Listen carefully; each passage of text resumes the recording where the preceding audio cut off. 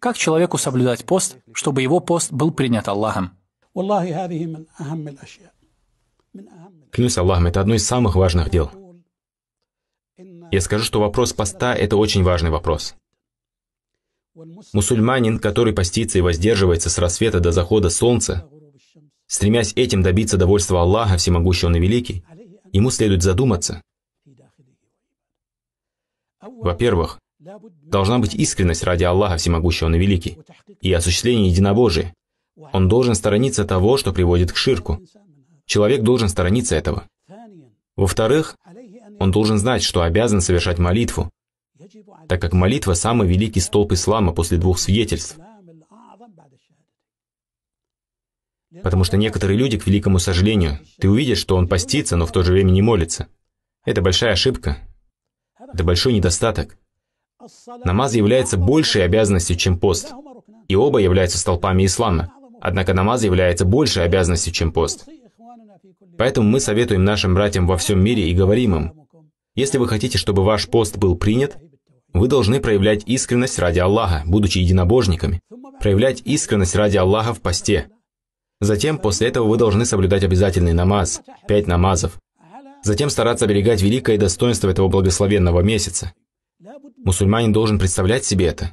В этом месяце есть три радостные вести, о которых всегда следует помнить каждому мусульманину и мусульманке. Все эти благостные вести приводятся в достоверных хадисах пророка, да благословит его Аллах и приветствует. Первая радостная весть, пророк мир ему и благословение Аллаха сказал, «Кто соблюдает пост в Рамадане с верой и надеждой на награду, тому будут прощены его прежние грехи». Вторая благая весть, пророк мир ему и благословение Аллаха сказал, «Кто простаивал в молитвах в месяц Рамадан с верой и надеждой на награду, то есть в дополнительных намазах таравих, тому будут прощены его прежние грехи». Третья радостная весть, пророк мир ему и благословение Аллаха сказал, кто простаивал ночь предопределения в молитве с верой и надеждой на награду, то есть в последних десяти ночах месяца Рамадан, тому будут прощены его прежние грехи. А кто же из нас не хочет, чтобы ему были прощены его прежние грехи? Значит, это месяц благодати, месяц прощения, месяц милости, месяц проявления взаимной любви между мусульманами, месяц согласия, месяц щедрости и расходования средств, месяц предоставления еды для разговения постящегося, совершения благих дел и поддержания родственных связей, сближение мусульман и их единство, а также месяц их поклонения. Посмотри, как они ночью совершают вместе коллективную молитву. После этого мы затронем очень важный вопрос.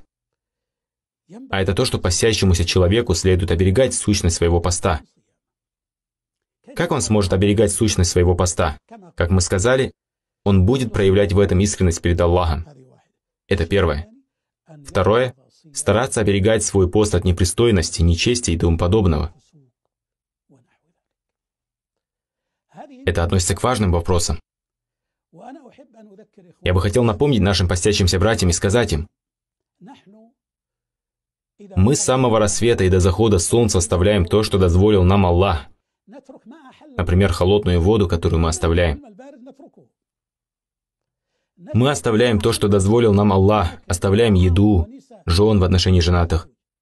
То, что Аллах дозволил нам, повинуясь Ему с рассвета до захода солнца, не остерегаясь в этом никого, кроме Аллаха. Поэтому ученые говорят, что пост далек от показухи. Почему? Потому что человек может зайти туда, где есть вода, и напиться. И если мы оставляем то, что дозволил нам Аллах, повинуясь Ему, то поистине одной из самых важных причин, посредством которых мы сможем уберечь наш пост, является оставление нами того, что запретил Аллах, как в Рамадан, так и в другое время, повинуясь Ему. Поэтому одной из самых важных вещей, которым нам следует уделять внимание, является то, что мы должны оберегать наш пост от хулы, клеветы, совершения запретного, от потребления запретного, от запретного взора, от поедания запретного и тому подобное. И поэтому пришло от пророка мир ему и благословение Аллаха, что он сказал в достоверном хадисе, «Тот, кто не оставляет лживые речи и действия сообразно им, то Аллах не нуждается в том, чтобы этот человек оставлял свою еду и питье. Имеется в виду, что ты поклоняешься Аллаху. Не думай, что оставление тобой дозволенного – это просто повиновение Аллаху. Нет, в этом есть еще такое же повиновение, а именно оставление тобою того, что запретил Аллах.